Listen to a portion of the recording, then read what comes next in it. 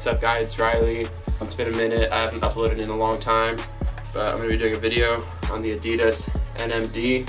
But be sure to watch the whole video. To need you guys' help at the end. Um, watch all the way to the end and um, leave me guys' opinions. Alright, so the NMD I'm going to be looking at today is the Champs exclusive. Um, you can only get these at certain Champs. They did a restock actually today on their website. You can check if they still have these. So retail on these is 130. It's not too bad for a runner.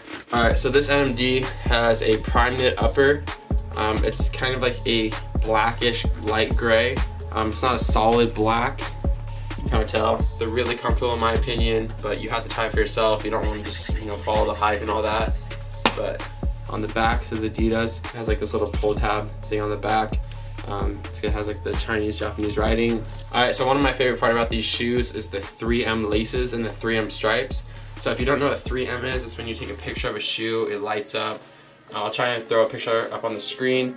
So um, the three stripes catch the light along with the laces and it pretty much blacks out most of the picture and you can only see those. So it's definitely one of my favorite NMDs and uh, I really suggest you get a pair if you like them. Alright, before you guys click on the next video, um, please leave a suggestion for new videos, um, whether it be a room tour, some outfits, some tutorials, um, whatever you guys want to see, please leave a comment down below. I read all my comments, it means a lot. Um, be sure to like and subscribe, and yeah, do it for me. Peace.